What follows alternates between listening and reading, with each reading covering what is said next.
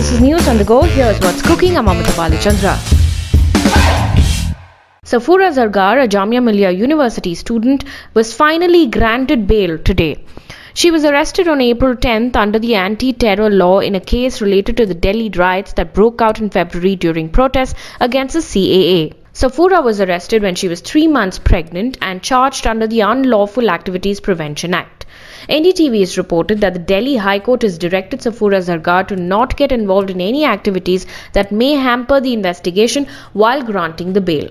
Safoora's arrest had triggered global outrage calling for her release on humanitarian grounds. The Karnataka government has now fixed rates for private hospitals' COVID treatment and ordered them to reserve 50% of the beds for cases referred by public health authorities, according to a report by The Times of India. The reserved beds will include both HDU and ICU beds equipped with and without ventilators, while hospitals may utilize remaining 50% of the beds to admit COVID patients privately who are not referred by public authorities, according to the report. According to tariffs fixed by the government, package rates for general ward is 5200 rupees, isolation ICU without ventilator is 8500 rupees and isolation ICU with ventilator is 10000 rupees.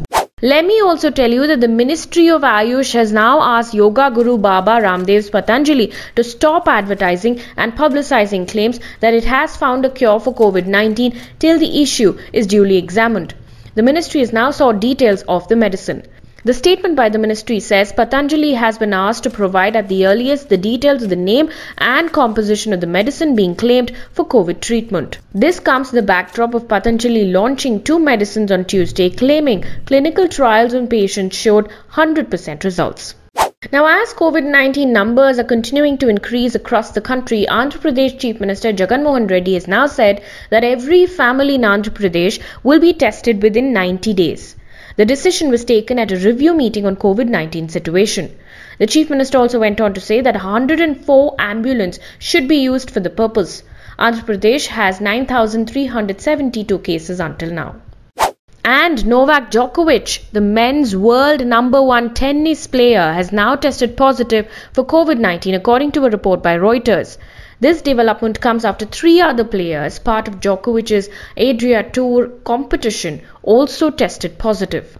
The report also said Djokovic, in a statement, has now said that he will remain in isolation for the next 14 days and repeat the test again in 5 days. The report also says that the remainder of the tour has now been cancelled. The tournament had earlier sparked outrage over lack of COVID 19 protocols. That's a wrap from me today. This is Amitha Balachandra signing off. Stay home, stay safe.